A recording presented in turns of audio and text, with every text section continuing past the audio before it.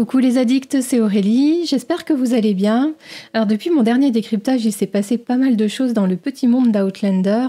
Euh, vous l'avez peut-être vu, mais euh, Diana Gabaldon, à l'occasion de la journée euh, Outlander Day, hein, le 1er juin, a publié via son, éditeur américain le, premier chapitre, l'intégralité du premier chapitre du, tome 9, hein, qui doit sortir au mois de novembre en langue anglaise. Euh, si jamais vous cherchez euh, une traduction euh, sympa en français, c'est sur le groupe Outlander Parlons des livres de Diana Gabaldon. c'est, il me semble, Lucie Bidoui qui a, fait cette traduction qui est, sympa. donc si ça vous intéresse et que vous êtes lecteur, ben, n'hésitez pas à aller le lire. Et puis la grosse actu de, la semaine, c'est donc l'annonce de la fin du tournage de la saison 6. Une, c'est quand même une grosse surprise. Euh, puisque voilà, on attendait 12 épisodes et donc euh, minimum, euh, je dirais, 8-9 mois de tournage. Et en fait, la saison 6 sera raccourcie, fera 8 épisodes. Et en contrepartie, eh bien c'est la saison 7 hein, qui, aura 16 épisodes, qui a une sorte de report de, de 4 épisodes d'une saison vers l'autre. tout cela compte tenu des difficultés liées à, la pandémie, bien sûr. Donc, euh, vous retrouvez pas mal d'infos et d'explications aussi et d'hypothèses que je fais euh, par rapport à, la diffusion qui est annoncée seulement pour février 2022 euh, ce qui peut sembler un délai très très long puisque les, comment, les équipes ne vont pas mettre autant de temps à monter les épisodes. Mais, mais allez voir sur mon site, je fais quelques hypothèses. Alors je ne sais pas si ce sont les bonnes, mais voilà. eh bien c'est parti, on y va. Décryptage de l'épisode 8 de la saison 4.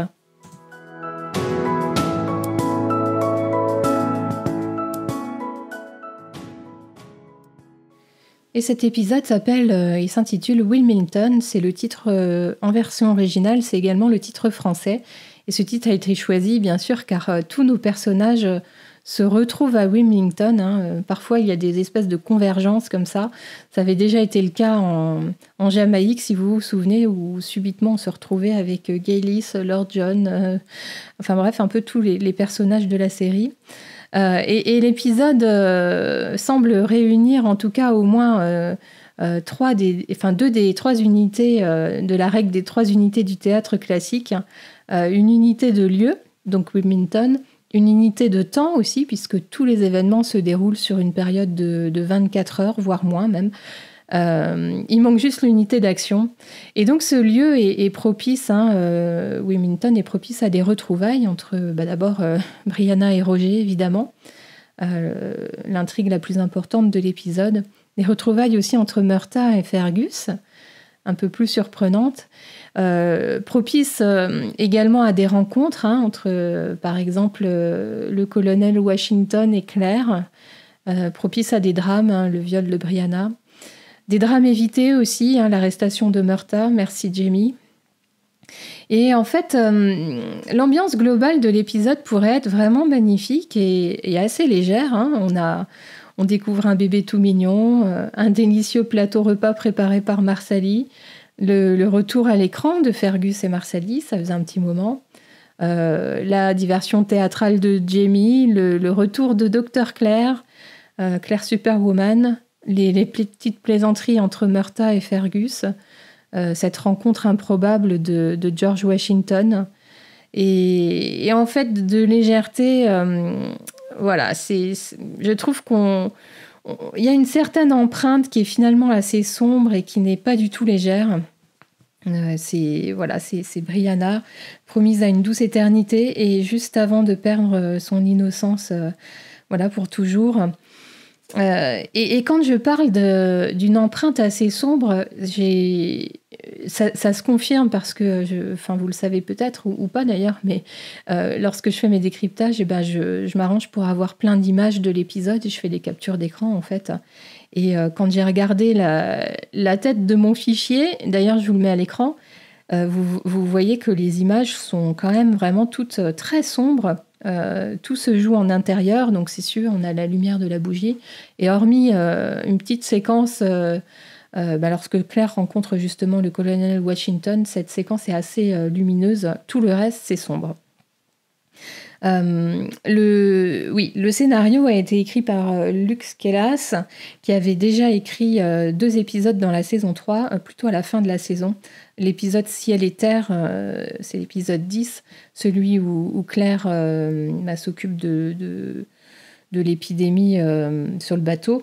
Et puis l'épisode 12, La Bacra, celui avec Gaylis. Euh, il a écrit cet épisode donc dans la saison 4 et un autre un peu plus tard. Et euh, il est toujours euh, présent hein, dans la saison 5. Il en a également écrit deux, l'épisode 2 et 3 de la saison 5.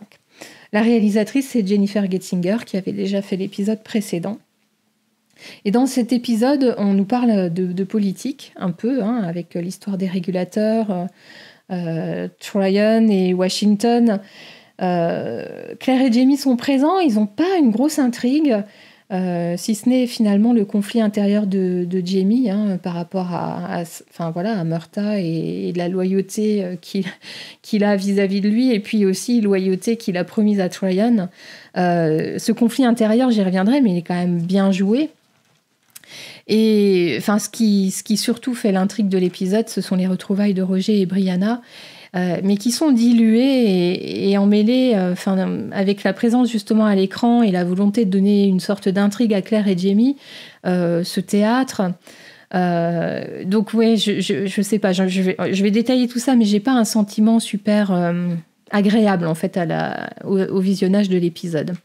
je, vous parle deux minutes du titre canadien, enfin québécois du coup, vous le voyez à l'écran, c'est Le monde est un théâtre, et donc ça reprend euh, bah, la, citation euh, de, Shakespeare, hein, qui est d'ailleurs reprise par Tryon dans l'épisode.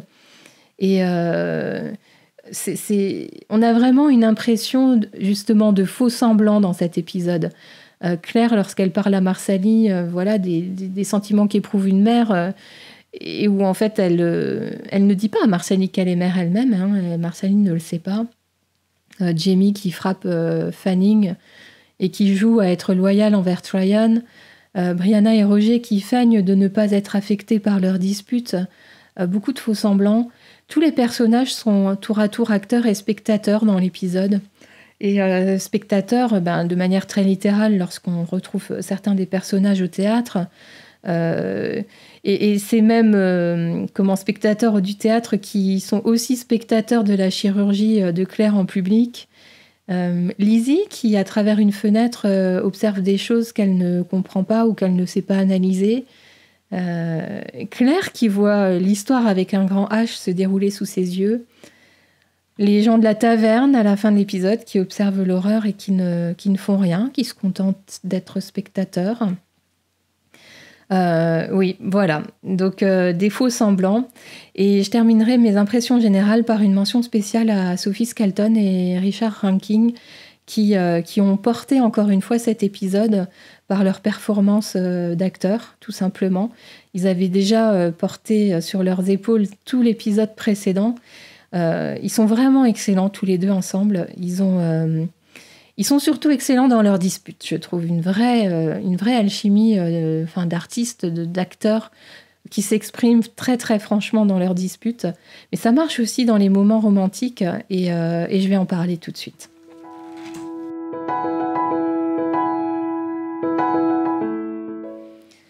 J'imagine que certains ou certaines sont avec moi euh, dans le chat en direct. Euh, je vais vous parler maintenant de mon top et mon flop et j'aimerais vraiment beaucoup euh, lire les vôtres, hein, ceux qui ont envie de s'exprimer. Allez-y, faites-le. moi j'ai choisi pour mon top la scène des vœux de mariage entre Brianna et Roger. Pour plusieurs raisons, parce que c'est vraiment la, seule scène de, cet épisode qui m'émeut vraiment. Il y a, une belle lumière, leurs échanges sont tendres, passionnés. Euh, il y a une luminosité qui, euh, émane d'eux aussi, euh, bien sûr mis en valeur par, l'éclairage de la cheminée. Donc en termes de réalisation, c'est super chouette. Mais je trouve aussi que c'est très bien écrit et que c'est particulièrement bien joué de la part de Sophie et Richard.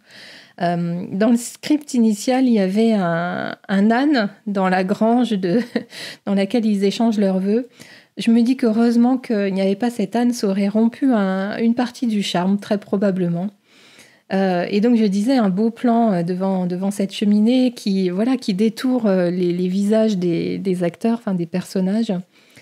beaucoup de délicatesse dans les mouvements, une grande solennité de, l'instant, le fait qu'ils se parlent droit dans les yeux, le fait que euh, Roger dénoue le, foulard qu'il a autour du cou pour, euh, bah, pour faire le lien entre leurs mains.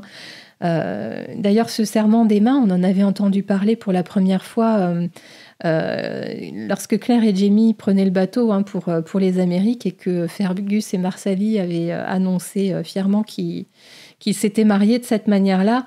on n'avait pas eu de détails en fait hein, sur, sur ce que c'était. Donc là, on, observe la scène et, et cette tradition des Highlands.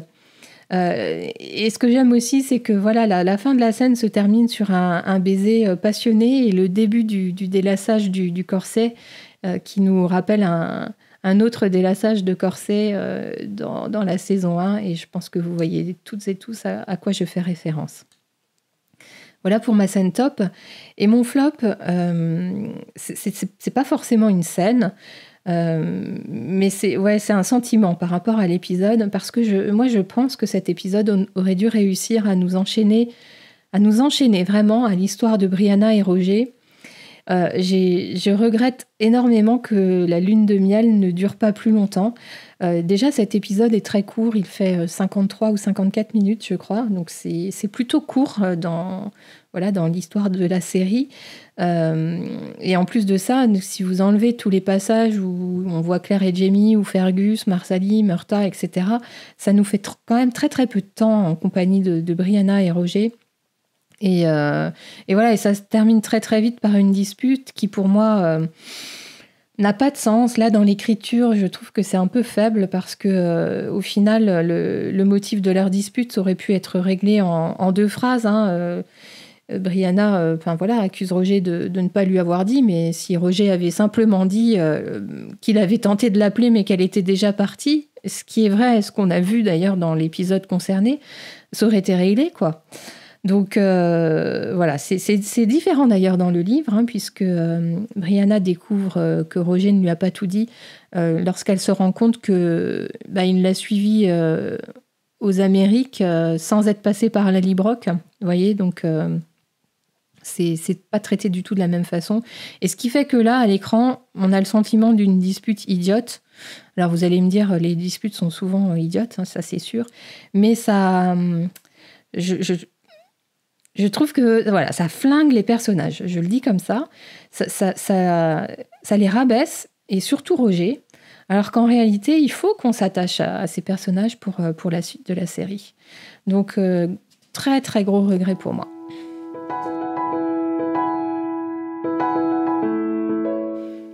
Pour mon premier thème, je vais vous parler du, retour en beauté de, Fergus et Marsali euh, et de l'absence, euh, toujours l'absence de petit Yann. Euh, Yann qui, après avoir été en vadrouille avec les Indiens dans, dans l'épisode 6, est désormais parti faire des courses pour Jamie. Hein, Jamie dit à Fergus que, Yann est parti en, gros chercher des tonneaux pour le whisky. Alors il y, a un côté un peu ironique hein, parce que dans le roman, en fait, parmi les gens qui se sont déjà installés avec Jamie à Fraser's Ridge, il y a un, tonnelier, hein, c'est Ronnie Sinclair. Mais ce personnage n'a pas encore été introduit dans la série euh, ben, à ce moment-là. Hein. on, le verra, on le verra dans la saison 5, je ne sais plus, euh, peut-être déjà dès le premier épisode, je ne sais plus. Enfin bref, en tout cas, euh, voilà, Yann n'est toujours pas là. Et c'est notre première rencontre avec Fergus et Marceli depuis un moment. Et donc, euh, les premières images, ce sont avec Fergus qui tombe nez à nez avec Roger. Euh, mais alors, on peut être content. Enfin, moi, au, départ, je me suis dit, ah, chouette. Et puis, en fait, le temps que ça monte en cerveau, on se dit que, ben non, flûte, euh, Fergus et Roger ne se connaissent pas. Et là, on se dit que si, si Fergus avait peut-être déjà vu Brianna, ou enfin, tout aurait été différent. Et le cours des choses, voilà, aurait pu être un peu plus sympa pour, pour tout ce monde-là. Mais c'est Outlander, hein, donc euh, voilà, c'est normal que, que, les choses ne se passent pas comme, euh, de la meilleure des façons. Et puis euh, ensuite, on a la joie des retrouvailles de, entre Claire, Jamie et Fergus et Marsali. On découvre la bonne bouille de, de Germain.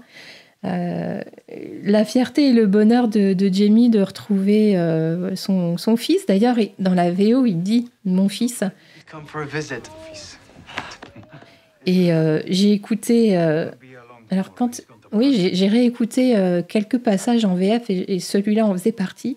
Et je me suis rendu compte que c'était pas traduit. Content que vous ayez pu venir nous voir. Viens. Donc encore un gros coup de gueule contre, contre cette version française qui, euh, qui des fois abîme un peu euh, ce qui est fait en, VO par, euh, par les auteurs et les acteurs. Bref, parenthèse fermée.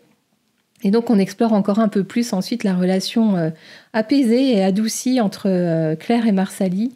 Marsali exprime sa joie d'être maman. ça a failli d'ailleurs être ma scène top, mais c'était un peu court. On voit que Claire est en empathie avec Marsali hein, lorsqu'elle dit que lorsque Marsali dit qu'elle a, qu'elle a très peur qu'il arrive du mal à, Germain. Euh, voilà, Claire lui dit que c'est, une des, peurs que, enfin, les plus fortes que l'on a en tant que parent. Mais euh, comme je le disais, elle ne dit pas à Marsali qu'elle est elle-même maman, donc elle fait comme si elle joue un rôle. Et à ce moment-là, elle pense à Brianna, euh, sans savoir que Brianna est pas loin. Hein. Et quand on connaît la fin de l'épisode, il y a une petite résonance euh, qui sonne doux amer hein, euh, avec les paroles de Claire. Et euh, donc voilà, c'est tout pour, pour Marsali dans l'épisode, donc quelques minutes au début d'épisode, mais on revoit Fergus un peu plus tard. Et cette fois-ci, ce sont ses retrouvailles avec Murta. Alors c'est un peu moins spectaculaire que d'autres retrouvailles auxquelles on a déjà assisté, mais c'est tout aussi plaisant. Euh, on, suppose que Jamie avait, avait dû parler de Fergus à Murta hein, lorsque, lorsque Jamie et Murta s'étaient retrouvés.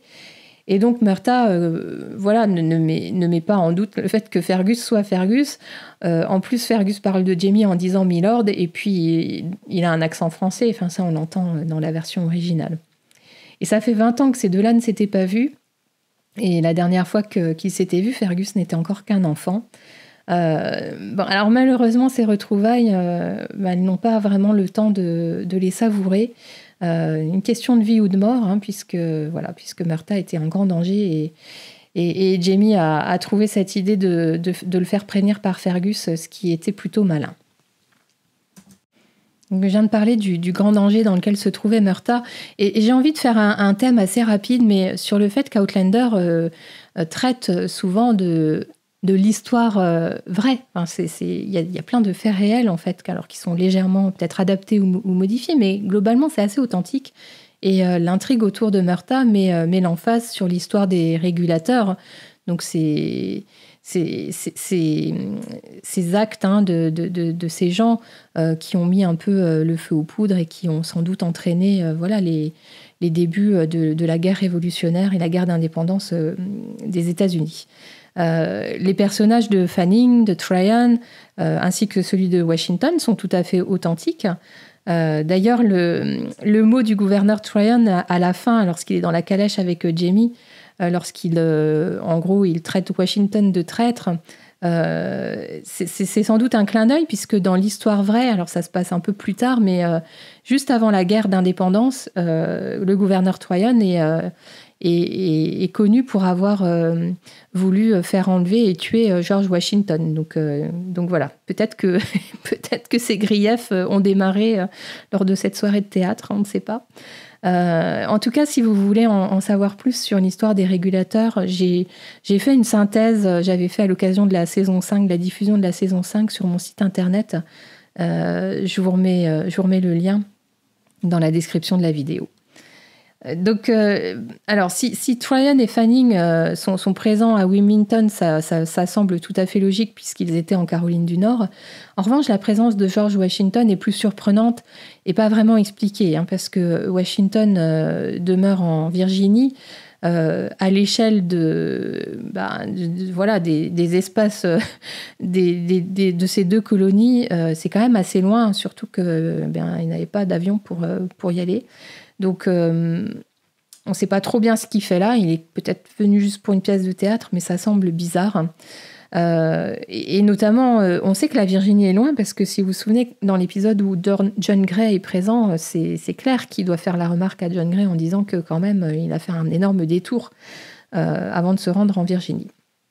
Euh, bref, donc la présence est surprenante et pas expliquée, mais ça permet à Claire d'avoir son moment euh, groupie ou fangirl.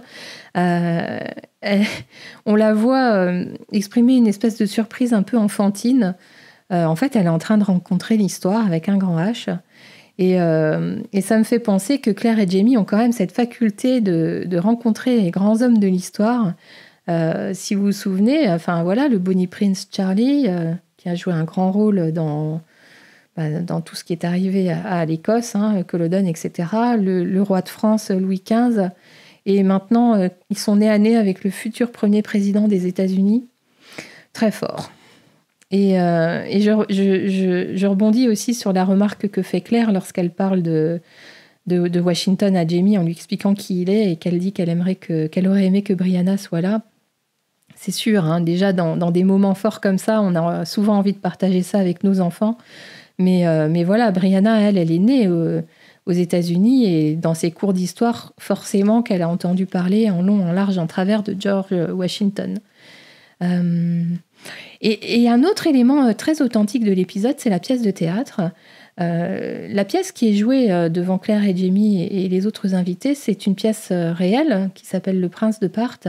Et c'est la première pièce de théâtre écrite par un Américain à être jouée aux États-Unis euh, par une troupe de, comédiens professionnels. Et c'était en 1767, donc ça correspond à peu près à, l'époque euh, voilà, où se, joue l'épisode. Euh, le décor de, ce théâtre, c'est une vieille église de Glasgow qui a, été réaménagée, mais, pas trop. Hein. donc, ils, ont quand même l'œil, hein, toutes ces équipes de, décorateurs, etc., pour, pour trouver des, des super endroits. Et euh, dernière chose dont je voulais parler à propos de cette pièce, c'est que vous avez dû observer quelque chose qui peut nous surprendre euh, en tant que euh, gens du 21e siècle, mais c'est ces interactions entre les gens du public et les, comédiens sur scène.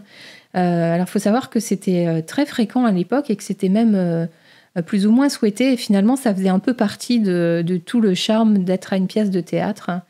Et donc la, production d'Outlander a, embauché un, véritable directeur de théâtre hein, pour la mise en place de la pièce, qui a réellement été euh, jouée pour de vrai.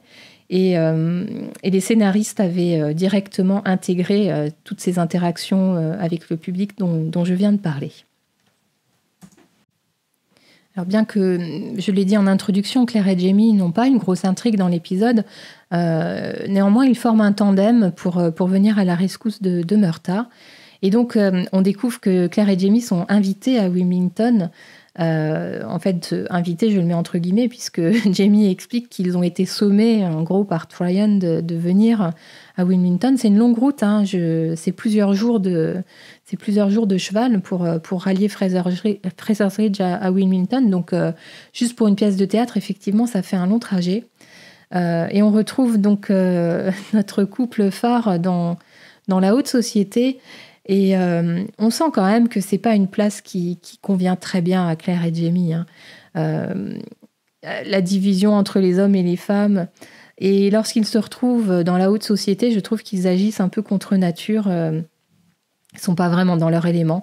L'attitude de Jamie semble un peu grotesque, très exagérée, hein, ce, coup de coude, ou je sais pas exactement ce qu'il a fait à, Fanning, on voit pas bien, mais c'est très bizarre de la part de Jamie. Et pareil pour Claire, euh, lorsqu'elle dit qu'elle va essayer de, gagner du temps, hein, lorsqu'elle va s'occuper de Fanning. Euh, c'est bizarre parce que euh, elle nous a tellement euh, surprise avec son serment d'Hippocrate et ça lui a fait faire tellement de choses déroutantes et, très embêtantes pour tout le monde que, que, là, dire qu'elle va gagner du temps, je trouve que dans sa bouche, ça sonne faux. Et donc, euh, enfin bref, au, théâtre, quand la pièce démarre, on voit bien que Jamie est, coincé et qu'il se demande comment faire. Hein. Tryon vient de lui, dire qu'il a un espion euh, parmi les régulateurs et qu'il a connaissance euh, eh ben, d'une action qui se prépare et donc qu'il a l'intention de les arrêter. Jamie, quand la pièce démarre, il n'est pas du tout en mesure d'aider Murta. Il, a tout le poids de, ses choix passés sur les épaules. Et euh, donc la seule chose qu'il trouve à faire, c'est de, décocher un coup de coude à, Fanning, hein, qui, du coup euh, euh, bah, souffre la mort, souffre le martyr. Et Claire retrousse ses manches de chirurgien pour, bah, voilà, pour, pour régler son problème de hernie inguinale. dans le roman, je ne sais pas si vous vous, vous en souvenez, mais c'est John Quincy Meyer qui, qui est opéré par Claire en public aussi, mais ça se passe à River Run dans le salon de, de. Donc, euh, une fois encore, hein, c'est ce que disent les auteurs lorsqu'ils ont des, des, scènes sympas dans le roman, mais qu'ils n'arrivent pas forcément à les recaser dans la chronologie ou dans, dans la structure de leurs épisodes, ils, essayent de les replacer à d'autres endroits. Donc, c'est comme ça que, que la chirurgie en public de Claire euh, bah, s'est déplacée de River Run à, Wilmington et de John Quincy Myers à, à Fanning. Euh, on, voit donc super clair, sans sa trousse de médecin, avec un couteau bien aiguisé euh, et beaucoup, beaucoup d'alcool. Euh, elle essaye d'impliquer le gouverneur Tryon pour qu'il ne se rende pas compte de l'absence de, Jamie. Mais là encore, il y a un truc qui colle pas. Vous voyez, quand Claire dit qu'il faut des hommes pour, euh, pour tenir Fanning fermement par les bras et par les pieds, pourquoi est-ce que ce serait pas Jamie qui ferait partie des hommes? Qui, qui, sont là? Ouais, bref, ça, ça colle pas pour moi, vous voyez.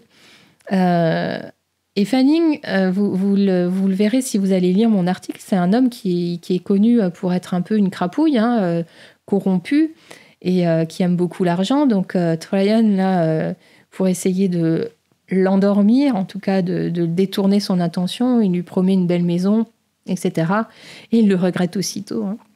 Et à la fin de la chirurgie, il y a une sorte de respect pour Claire, une sorte de reconnaissance aussi de, voilà, de ses qualités de, de chirurgien. Et j'aime beaucoup quand Ryan euh, renvoie le, docteur euh, euh, qui est arrivé entre temps, et voilà, prouvant que il, apprécie le geste de Claire. Heureusement, Jamie revient à temps et, et on voit que l'équipe formée par Claire et Jamie a bien fonctionné une fois de plus. Et comme toujours, je dirais, même si c'est un peu moins épique que d'habitude. Alors il est maintenant grand temps de, parler de Brianna et Roger parce que euh, c'est voilà, c'est eux, le centre de l'épisode. Les, premières images de l'épisode démarrent avec Roger hein, dans les rues de Wilmington à la recherche de Brianna et on, ressent une sorte d'abattement, de frustration. Hein. Il a fait un si long voyage et, et, il a vu tellement de choses sur le Gloriana et pas une piste pour l'instant. Euh, on sait que Roger est historien et on pourrait euh, se dire qu'il pourrait savourer en fait le fait d'être dans le passé, c'est quand même énorme. Ah, mais évidemment, son esprit est complètement ailleurs. Et, euh, alors juste, moi j'ai un petit sourire au coin des lèvres lorsqu'il se retrouve devant, devant l'imprimeur hein, qui a mal imprimé la date sur la vie de, décès de, de, Claire et Jamie. Euh, j'aurais pensé qu'il euh, lui aurait dit quand même quatre mots au moment où, euh, où l'imprimeur s'adresse à lui, mais, non, Roger se tait et préfère demander des nouvelles, enfin savoir si, si l'imprimeur a vu Brianna.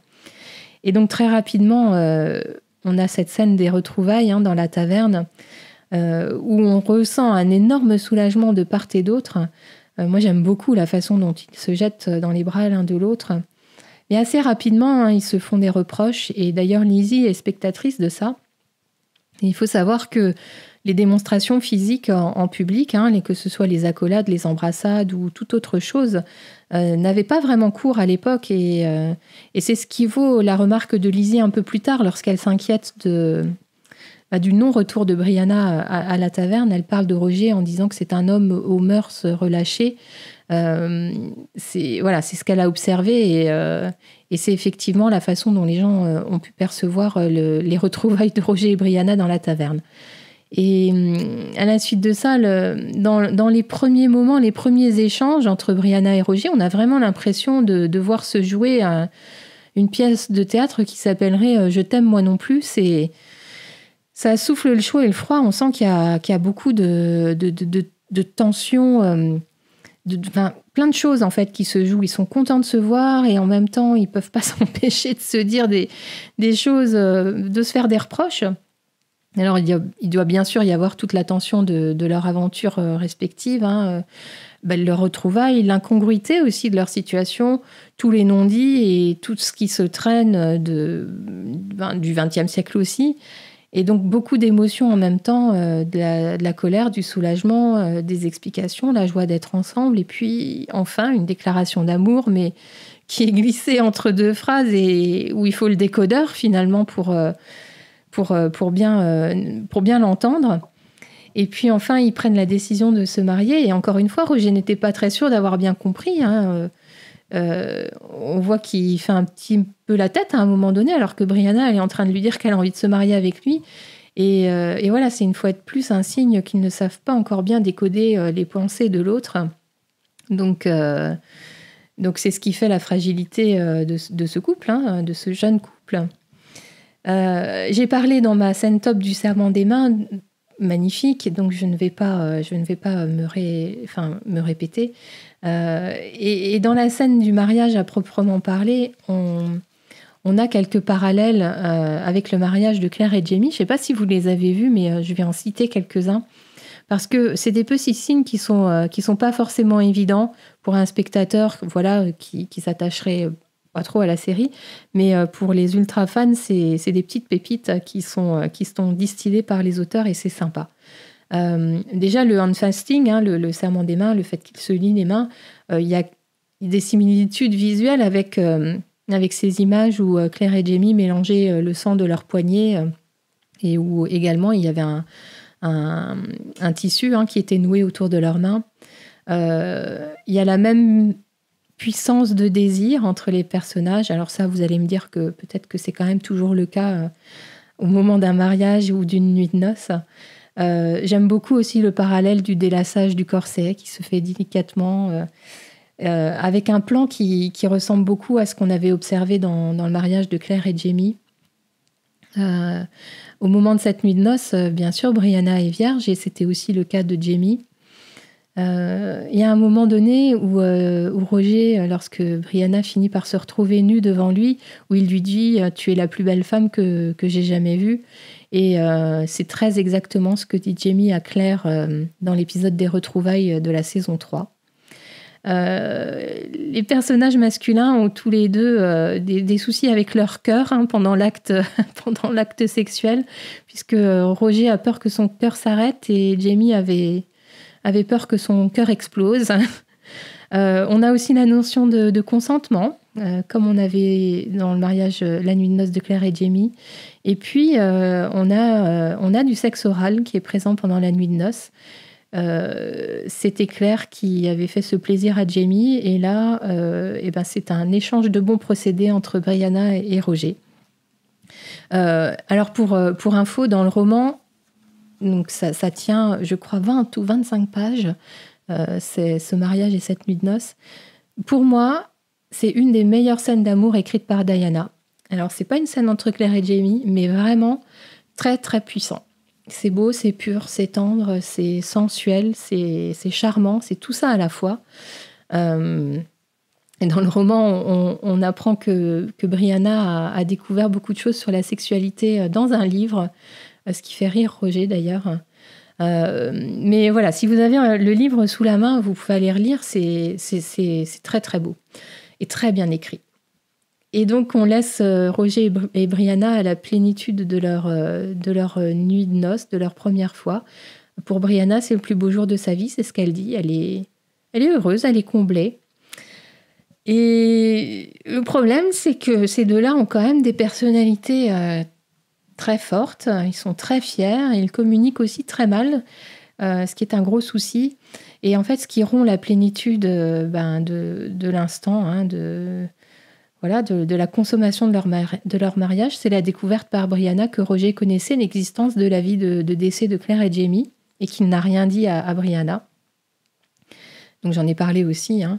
Et ça s'emballe euh, un peu cette dispute lorsque Roger parle de Fiona, parce que pour Brianna, c'est c'est quelque chose de très personnel, hein, cette histoire. Euh, Roger et elle, elles partagent euh, ce secret de voyage dans le temps, de, Claire qui a traversé les pierres. Et, euh, je pense que, Brianna, elle met ça sur une... Enfin, c'est une question de confiance pour elle.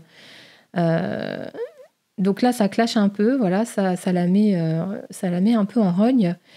Et j'aime beaucoup le fait que Roger mette sur la table la question du destin et de la prédestination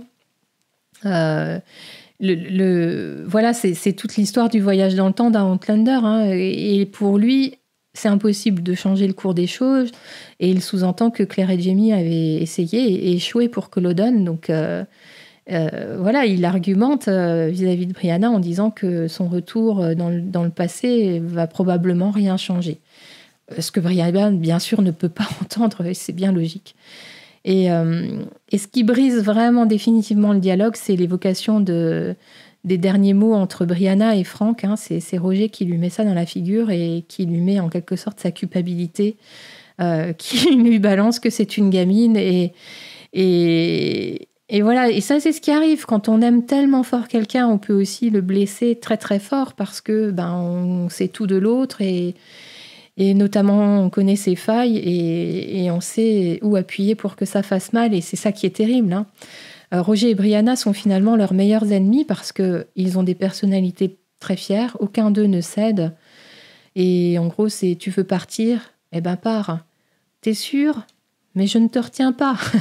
c'est une fois de plus, voilà, je ne prendrai pas parti dans leur dispute parce que je pense qu'ils ont tous les deux un point de vue euh, défendable et, valable. Ça dépend de nos histoires personnelles et, des bagages qu'on se traîne. Euh, et pour cela, je, vous encourage à écouter l'interview de Richard Rankin qui, analyse euh, super bien l'épisode. Je le publierai là dans quelques jours sur, sur YouTube.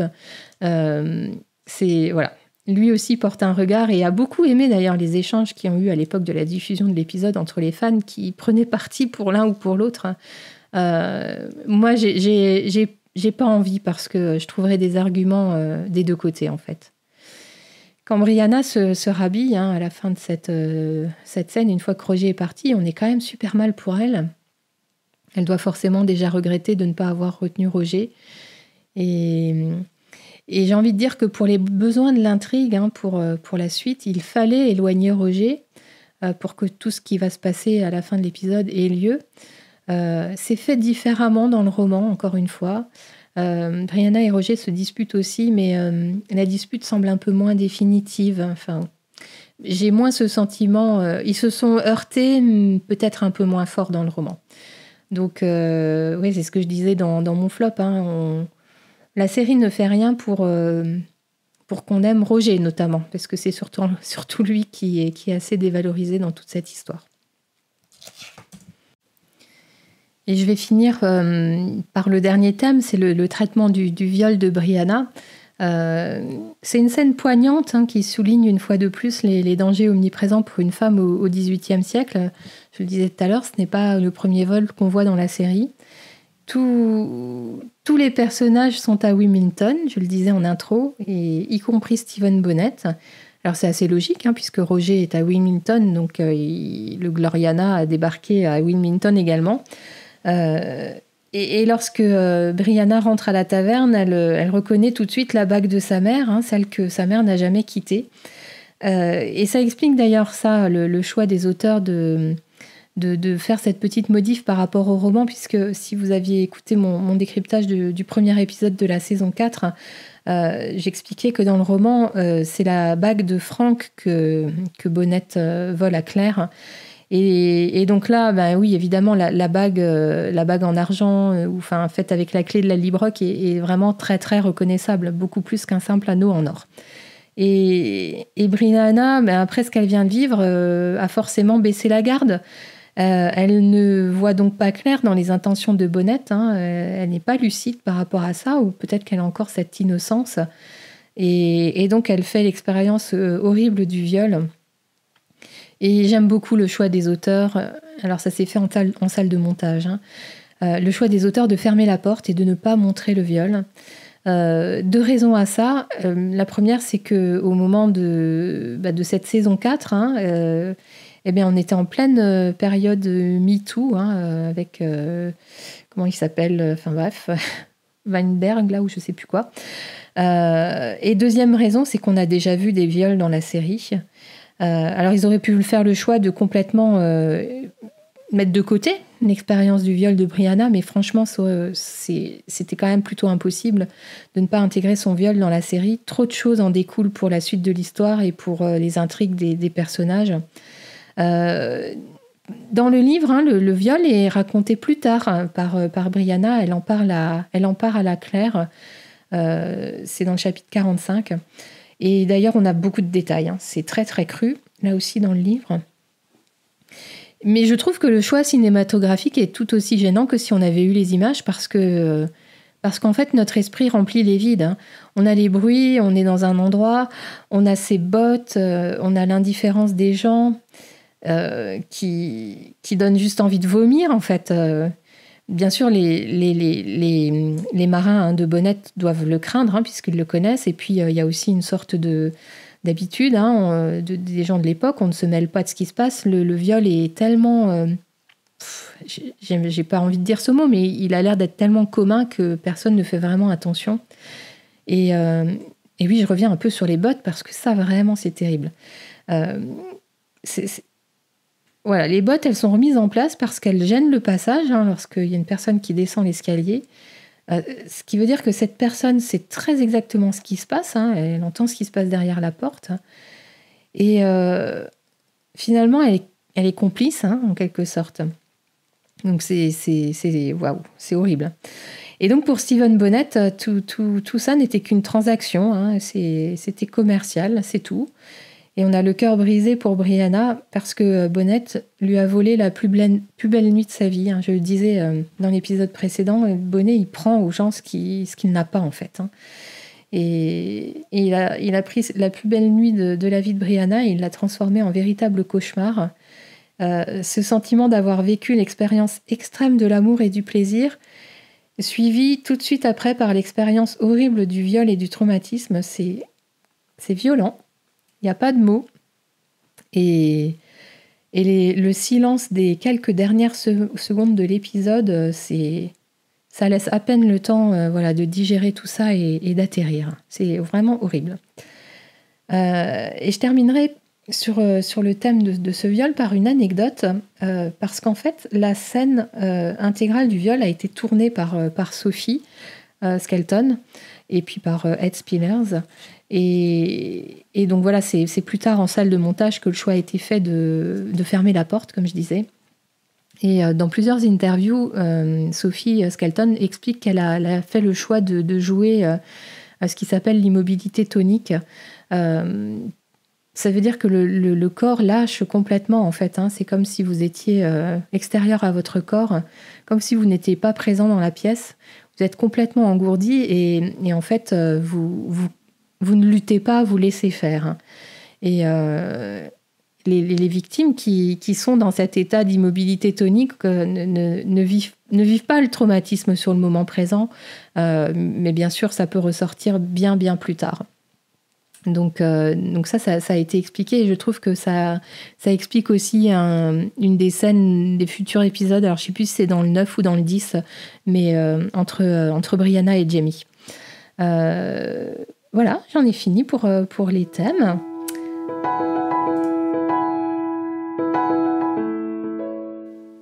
Et pour conclure, je dirais que c'est un épisode où l'horreur côtoie le beau, euh, mais c'est quand même plutôt l'horreur qui prend le pas euh, sur, sur l'ensemble de l'épisode et qui laisse une empreinte et un goût quand même très très amer. Ce que j'ai envie de dire, c'est que Brianna, je trouve, avec l'épisode précédent et plus celui-là, euh, devient vraiment un personnage à part entière. Ce n'est plus euh, seulement la fille de, Claire. Euh, voilà, je dirais aussi que c'est un épisode qui pour moi est moins bien ficelé. On s'ennuie un peu plus que dans d'autres épisodes, notamment dans les scènes de théâtre. C'est un rythme un peu en dents de scie et on a un peu de mal à entrer pleinement dans cette histoire des régulateurs. Et, euh, et surtout, je trouve quel dommage euh, de, ne pas avoir mieux installé euh, le couple Brianna et Roger.